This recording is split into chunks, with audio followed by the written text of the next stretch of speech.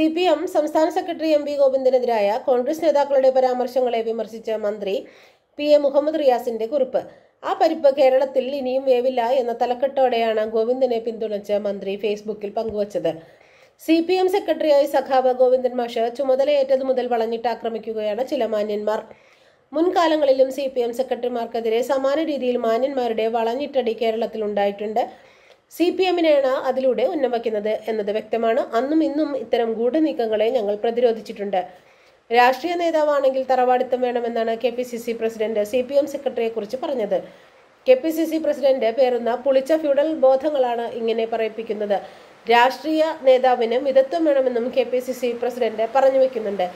K P C C പ്രസിഡന്റിന്റെയും പ്രതിപക്ഷ നേതാവിന്റെയും മിതത്വം കഴിഞ്ഞ കുറച്ചു കാലങ്ങളായി മലയാളികൾ വല്ലാതെ സഹിക്കുന്നുണ്ട്.